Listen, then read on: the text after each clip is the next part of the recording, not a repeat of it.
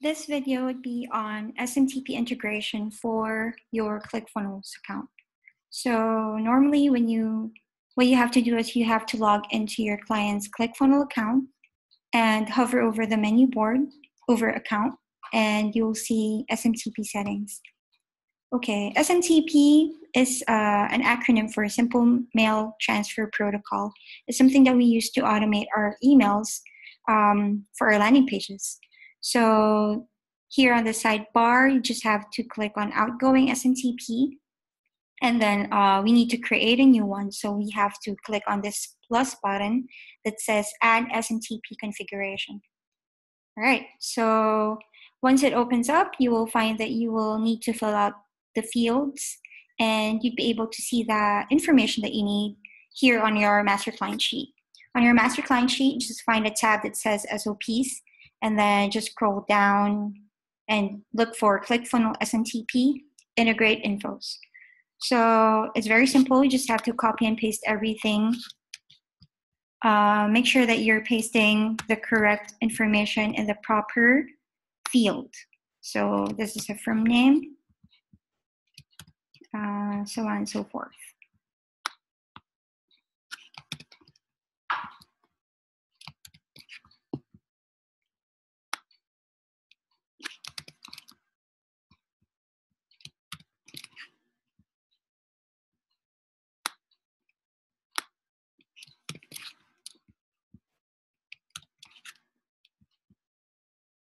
So we, um, for the password, the SMTP password, um, we sometimes update it and we change it, especially when um, whenever we out process some old clients, so that uh, we are providing paid service to the correct, um, yeah, to our clients who are with us currently.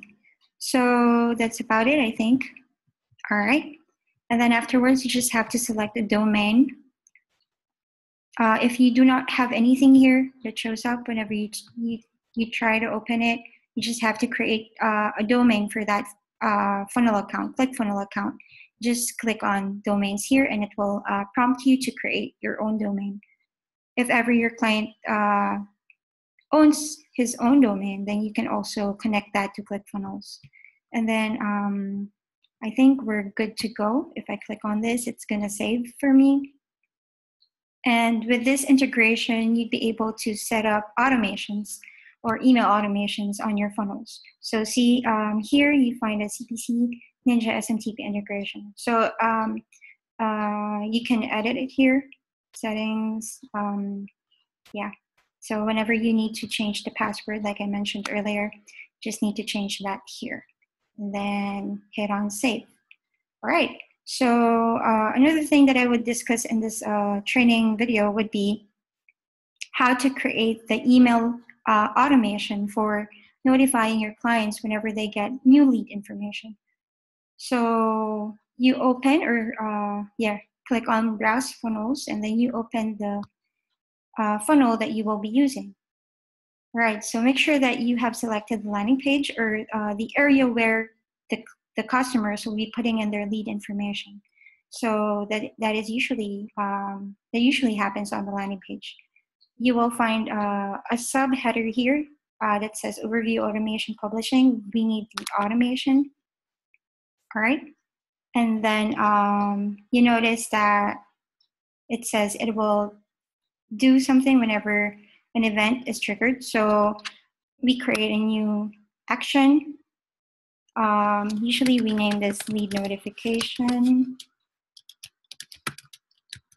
Condition everyone, ClickFunnels internal, and then you say email notification.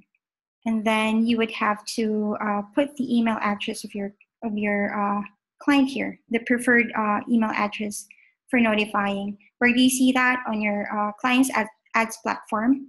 Uh, I'm just going to get that information, so I'm just going to pause my share for now for, for just a bit. Always protect your client's informations. Okay, so just give me a bit of time. All right, so, so yeah, all right. Um, okay. There you go. So every time that you get a new uh, lead um, sign up on your landing page, you, your client will be notified through that email that he or she uh, gave you. For your PQual, you just go to your application page and then you do the same thing. Just uh, click on automation and then um, add new action. For here, you just say PQual notification.